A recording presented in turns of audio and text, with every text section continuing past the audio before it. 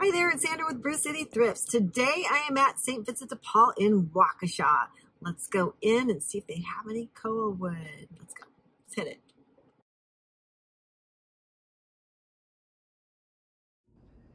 The shelves are looking really nicely organized today here at St. Vinny's.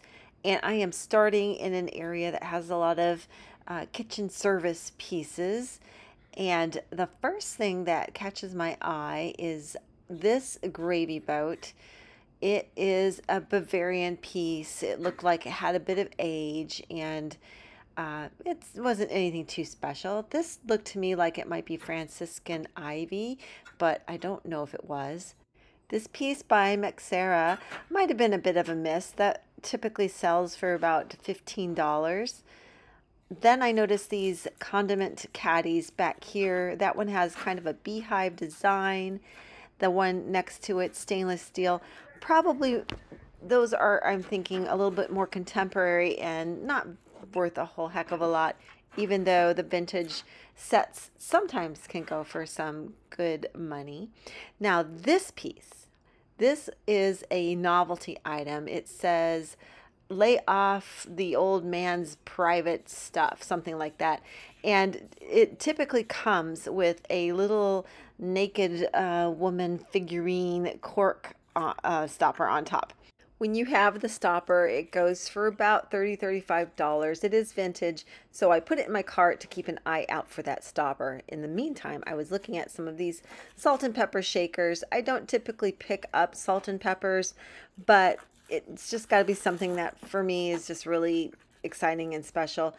I am attracted to shakers like this that are from the first half of the 20th century, hand painted. Uh, if they're signed, uh, absolutely something I'm going to look at in this case. These were nice, but I decided uh, to leave them behind. The uh, gilding was really worn on the tops. This set of ceramics caught my eye. I like the design. It looks to me somewhat, you know, Art Nouveau, Art Deco in style. It has a label that says Czech and Slovakia. And I do like the design and I do like that piece. So I the gilding seems strong on it. The colors were really pretty. It's got a pastel pink and blue that stands out. So I put it in my cart to think about it. And on the way back to the shelf to pick up the other piece, I get distracted first by this uh, this tureen or covered covered bowl serving piece, um, probably a soup tureen. It has violets on it, and you know I'm pretty passionate about ceramics and china with hand painted violets. And then I see behind that uh, a matching bowl to the Czechoslovakian set. And I am considering that as well. But I end up going with just the platter for now. Oh my gosh, can you believe it? Fingers like my fingers are fluttering all over the place because I'm so excited because it is a Rowe pottery bowl. It's salt glazed, but it is this um, this different color of the the ceramic means it's uh, it's a little more special. And it, on the bottom it says it's a historical piece. And I know it's something special, but I don't know exactly what I've got until I get a chance to look it up. As I'm looking through the dish sets, I do notice this set of hand painted pasta bowls or cereal bowls, but they're the shallow bowls that are often used for pasta. And I like the pattern very much. I look on the back, it's Pier 1. It's the Etrusco um, pattern. And I really like it. And there's, I think, there's a whole set of eight plates, and none of them are damaged. And I think to myself, hmm, this might be a thing. So I put them in my cart.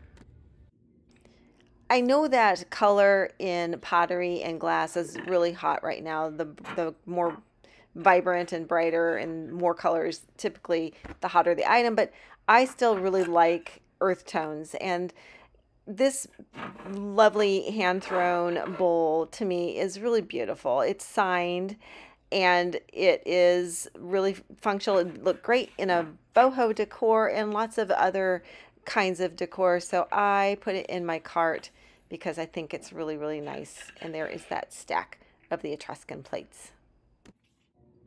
I thought these ceramic candle holders were kind of nice.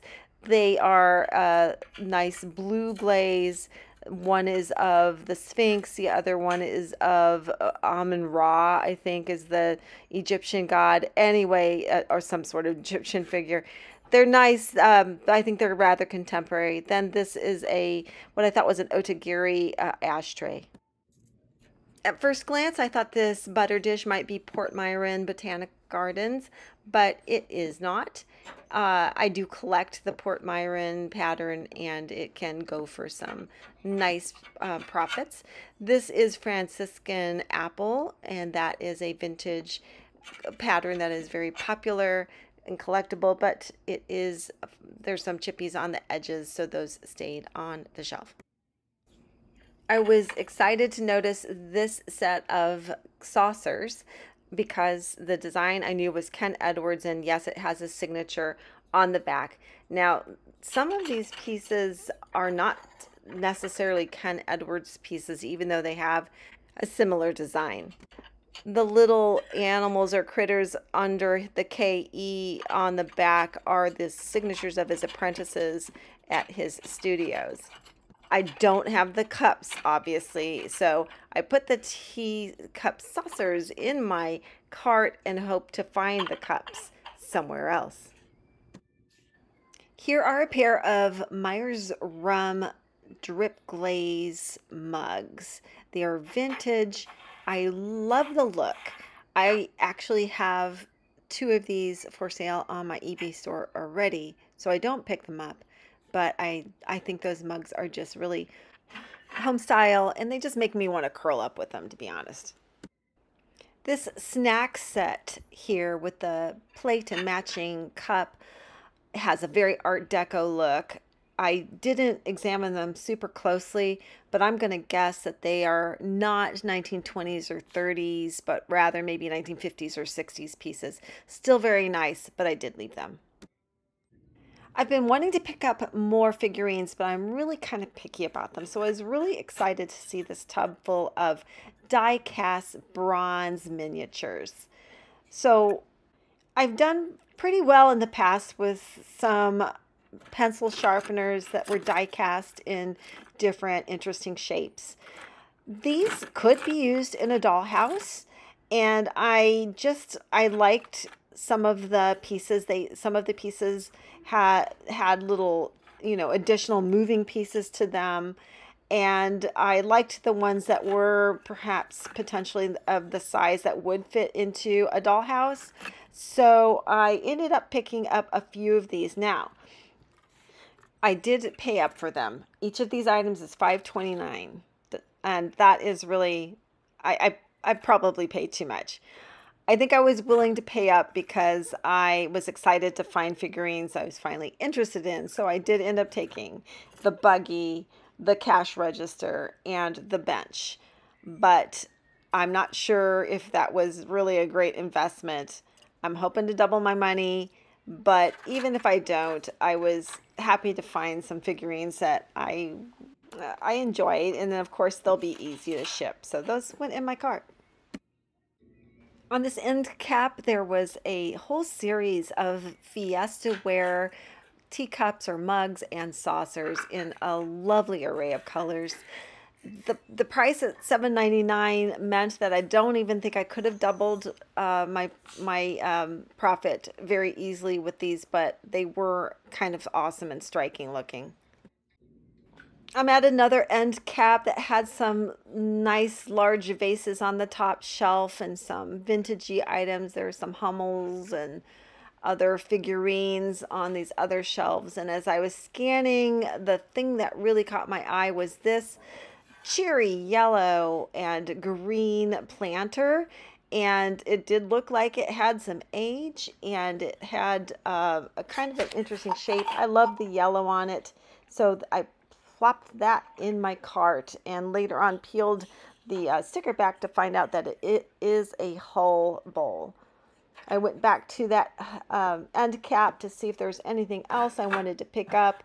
This was a nice ceramic tray, but I think it had a crack in the corner, so I decided not to take it.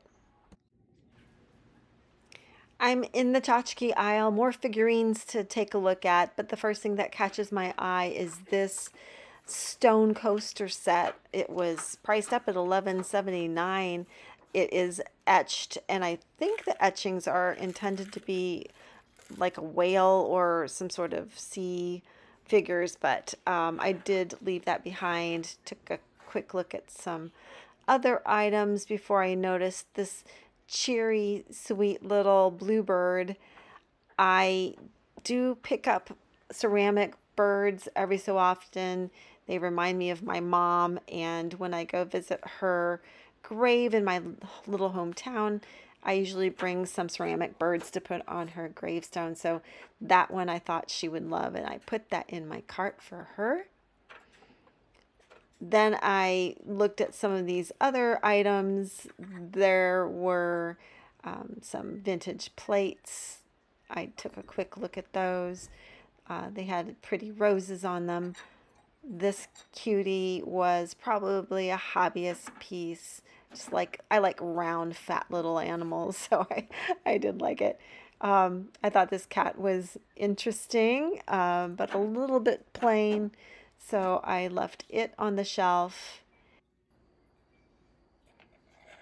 I noticed on the shelf below this baggie of weights. I saw that they were graduated weights and I knew they were probably antique. They are asking $14.99 and when I did a quick search I couldn't find them on eBay so I wasn't sure what kind of, of, uh, of weights they were. They are most likely apothecary weights and antique if I had been able to find them quick when I looked quickly, I might have picked them up, but uh, because I couldn't, I left them behind. I was running out of time before the store was going to close. I'm at my, the last shelves and I noticed this bank. It's made to look old, but it's not that old. It's cast iron though, and it was fun. It, it um, I like the fact that it moved the way it did. Here's the shelves where I've previously found koa wood, and I'm scanning, scanning, scanning for koa wood or something similar. And uh, that's a cute little hand carved. Um, couple of figures, but no koa wood this time, so maybe next time. Okay, it is time for a cart review. And the first thing is this novelty jug. That goes back on the shelf. I was never able to find the little naked lady for it. This is the pickup of the day. It's a Rowe Pottery Works historical bowl made in 2003, and they can go for about $50 on eBay.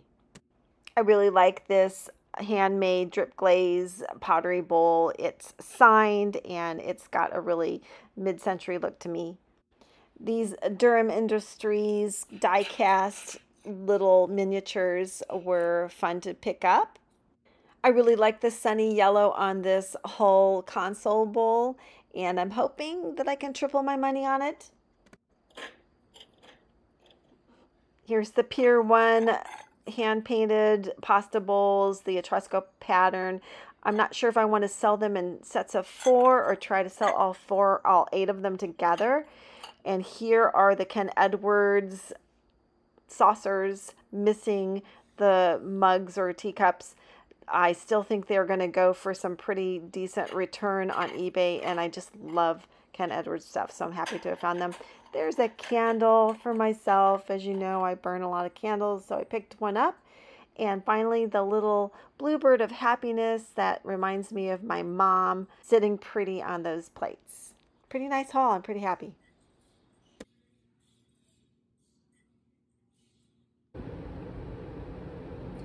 I had a great time and I hope you did too. I'm especially happy with the Ken Edwards saucers, even though we couldn't find the cups or the mugs that went with those. They still can sometimes bring a pretty good profit, and I just think they're lovely, so I am really happy to have found those. Uh, the Rowe pottery, I, I'm scoring that everywhere I go lately. It's like it's following me around and that's just fine by me. So I was really happy to pick up another piece of Rowe pottery. Those dollhouse furniture pieces, those, I don't know if they're brass or bronze, sometimes can bring a pretty good profit. I paid up, but I'm hoping I can at least double my money. So fun times. Hope you enjoyed yourself. Like my channel, subscribe, comment, and Thrift On Siblings, we will do this again.